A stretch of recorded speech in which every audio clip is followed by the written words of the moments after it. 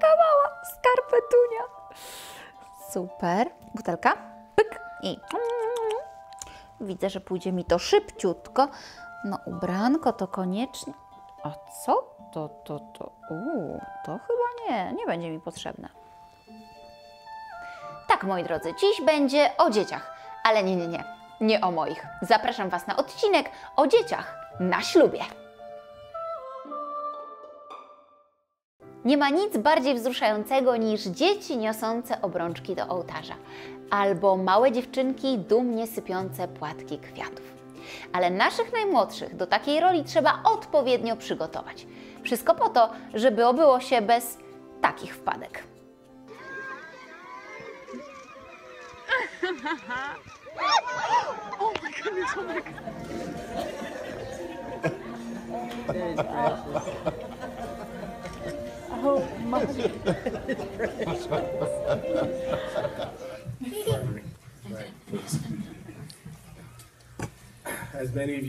Uh, Dobrze jest założyć, że zachowanie nawet najlepiej przygotowanego do tej roli dziecka nadal jest nieprzewidywalne. Przykład iście królewski. A jaka radość? Generalna zasada w przygotowaniu dziecka dotyczy jego rodziców. Rodzice, przygotujcie się. I to na wszystko.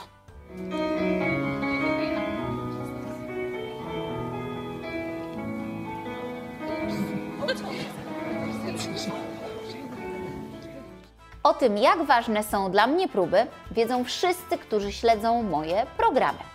Doświadczenie nauczyło mnie, że przed tak ważnym wydarzeniem należy sprawdzić absolutnie wszystko. Pierwszą bardzo ważną rzeczą będzie rozmowa, jaką powinniście odbyć z dziećmi. Bardzo ważne jest, aby wytłumaczyć dzieciom, na czym będzie polegała ich rola i jak wygląda ceremonia. Pomocne mogą być tutaj filmiki YouTube'owe, które im pokażecie, dzięki czemu dzieci będą wiedziały, czego mają się spodziewać. To dobry moment, żeby opowiedzieć o ubrankach. Szczególnie dziewczynki będą zachwycone wizją księżniczkowej sukienki i już nie będą mogły doczekać się tego najważniejszego dla Was dnia.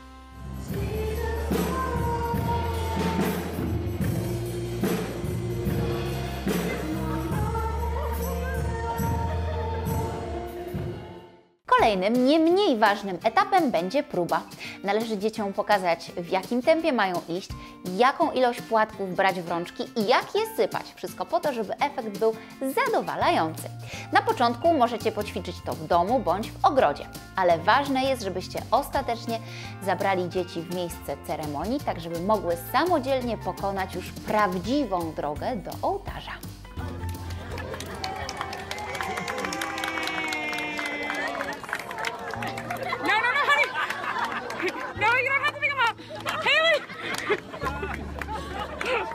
Najważniejsze jest to, żeby podczas tych treningów nie przymuszać dzieci do niczego. To ma być dla nich dobra zabawa, a nie smutny obowiązek.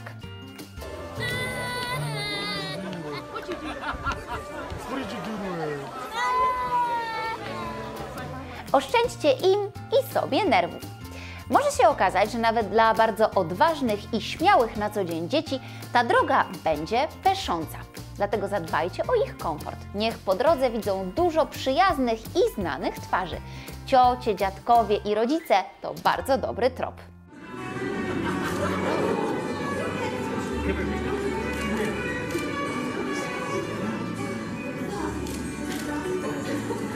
Co ze strojem? Zasada jest jedna. Im później ubierzecie swoje dzieci, tym lepiej. Oczywiście przebieranie dzieci pod kościołem to już y, za daleko posunięta ostrożność, ale pamiętajcie o tym, żeby dzieci już były po jedzeniu, po toalecie i ubierajcie je w ostatniej chwili przed samym wyjściem z domu.